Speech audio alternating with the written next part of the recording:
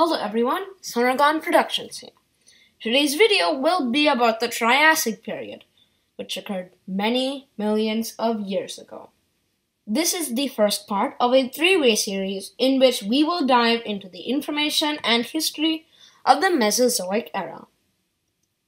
The Triassic era was a very different place and a very different time. It was almost alien Everything there was different, even the climate. The high CO2 levels of the time meant that life in the Triassic was pretty much always on its heels. The ecosystem here, or ecosystems here, consisted mostly of primitive plants, like ferns, and also the first conifers started to evolve here. I should point out that dinosaurs were not dominant until the ending few million years of the Triassic, when the CO2 levels rapidly increased. It was dinosaurs' incredible lung system that allowed them to survive this extinction, which was the Triassic to Jurassic extinction.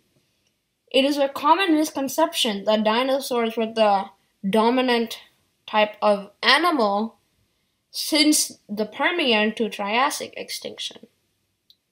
The continents at this time had basically combined together to form Pangaea, a large supercontinent.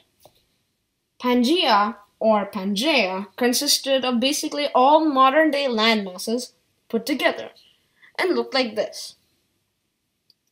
The Triassic period's dinosaurs consisted of mostly late archosaurs, which is the family tree line that dinosaurs and pterosaurs deviated from. They were just beginning to separate into the Saurischian branch, which gave rise to birds themselves, and the Ornithischian branch, which gave rise to some bird traits.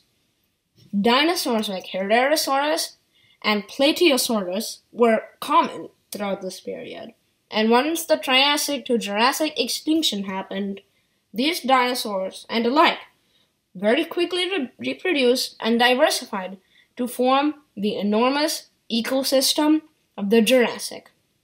And that is where we will leave off for today. Thank you for watching this video and make sure to watch this channel for more updates on this series. See you all later and bye bye.